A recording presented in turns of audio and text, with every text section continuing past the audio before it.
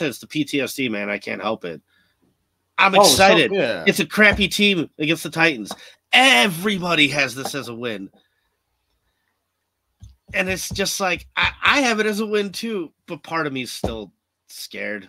Like, damn it. Is that is that bad?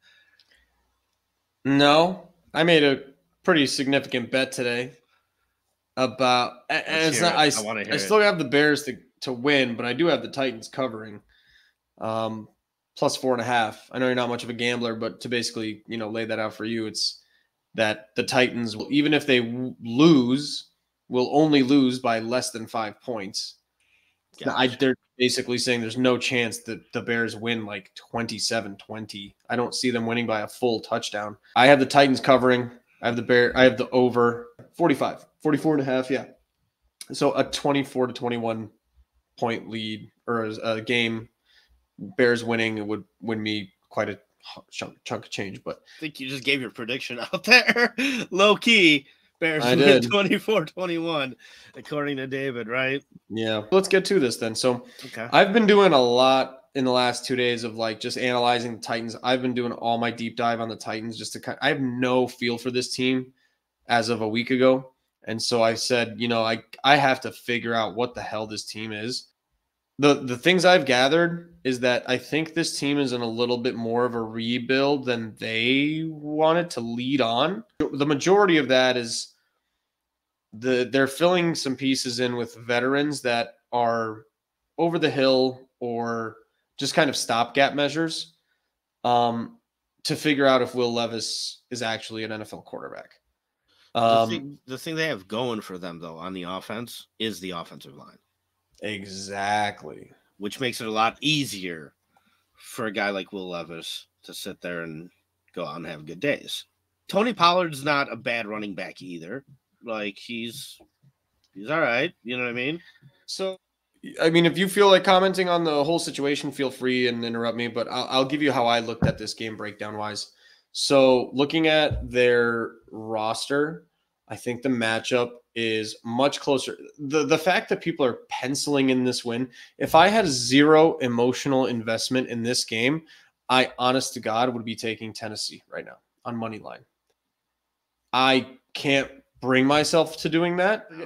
The you last know time it. I, but the last time I, the last time I predicted a loss, I was right with Green Bay with an opener. you know Um, what the record for first overall pick quarterbacks is? 0 and 12. 0 and 14, 0, 14 and 1, one tie.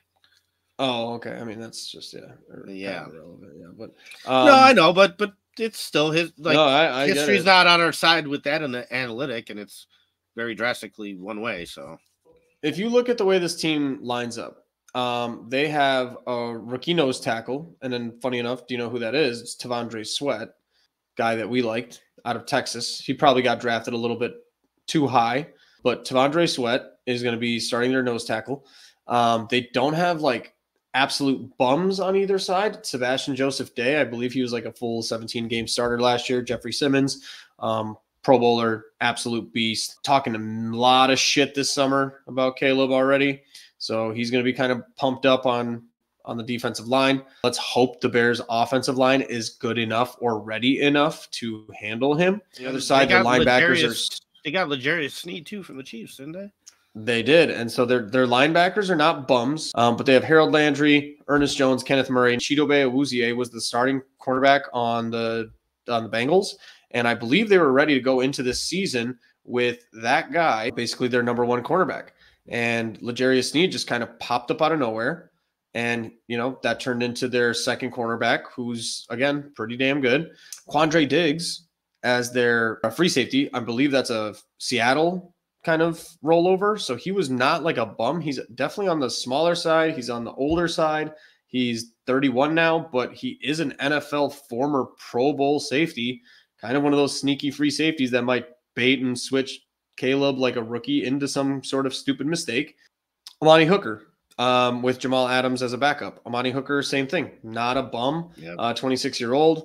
He's uh, quick, fast, not you know whatever. It's he's a good player. He's a fourth round pick, uh, 2019, uh, full. I think he's like a full 17 games. basically what we're saying is like the defense is not a slouch, and that's basically where they match up really well. So for offensive game plan, I heavily believe that even more so, D'Andre Swift, D'Andre Swift, D'Andre Swift. Um, I was going to say the same thing. You, you're going to have to run the ball. You got to run the ball and get the ball out of Caleb's hands, man. First few weeks, especially, that was kind of the game plan that they presented to the team, to the to the fans, to the media. They presented that they were just going to, you know, basically, hey, you don't.